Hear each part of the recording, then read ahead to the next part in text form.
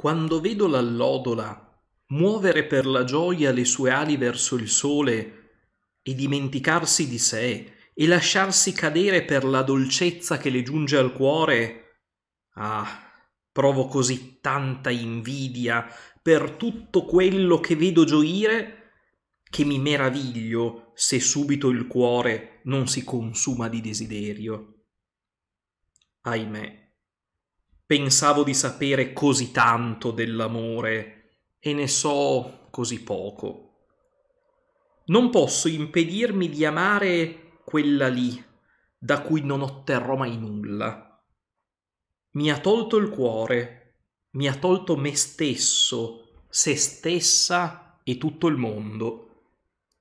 E quando mi ha tolto se stessa, non mi lascio nulla se non il desiderio e un cuore anelante. Non ebbi più potere su di me e non fui padrone di me da quando mi lasciò guardare nei suoi occhi in uno specchio che mi piace tanto.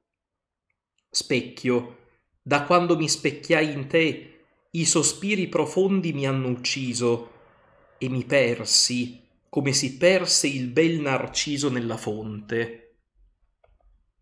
Non ho più speranza nelle donne, non mi fiderò più di loro. Prima le esaltavo, ora le rinnegherò. Poiché vedo che nessuna mi soccorre da lei che mi distrugge e mi annienta, tutte le temo e diffido di tutte, perché so che sono tutte uguali. In questo è proprio una femmina la mia donna, e io glielo rimprovero. Non vuole ciò che è giusto volere, e fa quello che le si vieta. Sono caduto in disgrazia, e ho fatto come il folle sul ponte, e non so perché mi succede questo, se non perché sono salito troppo in alto. Pietà è davvero perduta, e io non lo sapevo ancora.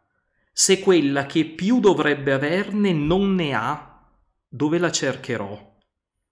Ah, sembra difficile a vederla che questo misero desideroso che senza di lei non è felice lasci morire e non lo aiuti.